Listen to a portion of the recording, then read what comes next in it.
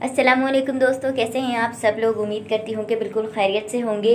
आज की वीडियो बहुत ही इंटरेस्टिंग और ज़बरदस्त है, क्योंकि इसमें मैं आपके साथ एक बहुत ही यूनिक सी टिप एक बहुत ही ज़बरदस्त सा हैक शेयर करने जा रही हूँ कॉफ़ी बनाने का, जो कि आप में से अक्सर लोगों को मालूम नहीं होगा, क्योंकि जैसे जैसे सर्दी आ रही है, वैसे वैसे कॉफ़ी की कंजप्शन में इजाफा हो रहा है और चाय की नस्बत लोग ज़्यादा कॉफ़ी को पसंद करने लग जाते हैं। मैं खुद भी जो है वो चाय की नस्बत कॉफ़ी ज़्यादा पसंद करती हूँ।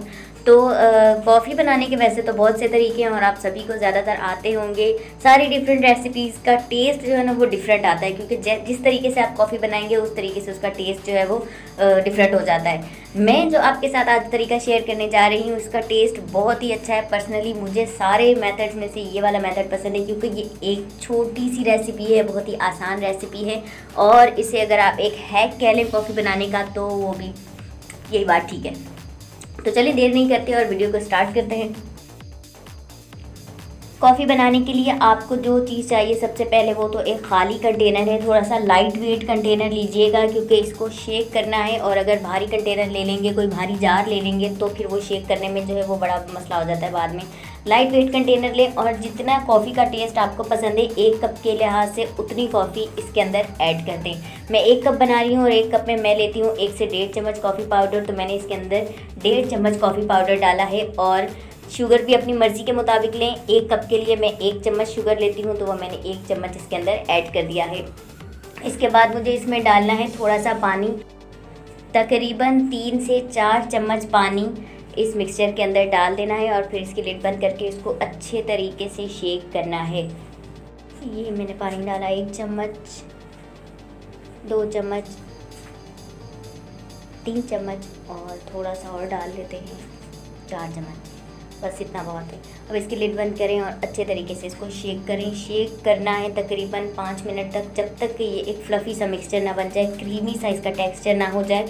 इसमें अगर आप बहुत तेज़ी से शेक करते हैं तो तकरीबन दो मिनट लग जाएँगे आपको आराम से। शुगर भी डिज़ोल्व हो जाएगी और इसका मिक्सचर भी जो है वो क्रीमी बन जाएगा।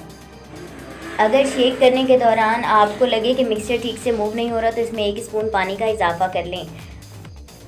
ये तकरीबन दो से ढाई मिनट मैंने इसको अच्छे से शेक किया और इसका टेक्सचर देखें कितना ज़बरदस्त सा लग रहा है। बिल्कुल क्रीमी सा। आ, मैं इसको निकाल के दिखाती हूँ।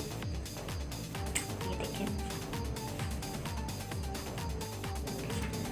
कॉफ़ी के इस मिक्सचर को जो है आपने इस कप में डालना है, ज़्यादा नहीं, बस एक से डेढ़ चम्मच या दो चम्मच जितना आपको कॉफ़ी का टेस्ट पसंद है, उतना डाल। लें और इसके अंदर हमें गरम किया हुआ दूध बॉयल मिल्क गर्म किया हुआ, उसमें चीनी ऐड नहीं करनी क्योंकि चीनी आपने पहले से इसमें ऐड कर दी है, वो इसके अंदर शामिल कर देना है और बस कॉफ़ी रेडी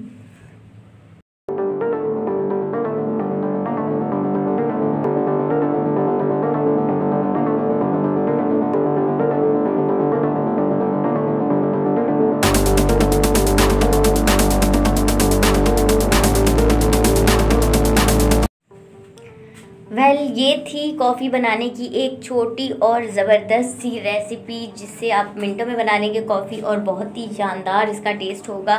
बनाकर ट्राई ज़रूर करें और मुझे कमेंट सेक्शन में लाजमी बताइए कि इस तरीके से बनाई जाने वाले कॉफ़ी का टेस्ट आपको कैसा लगा।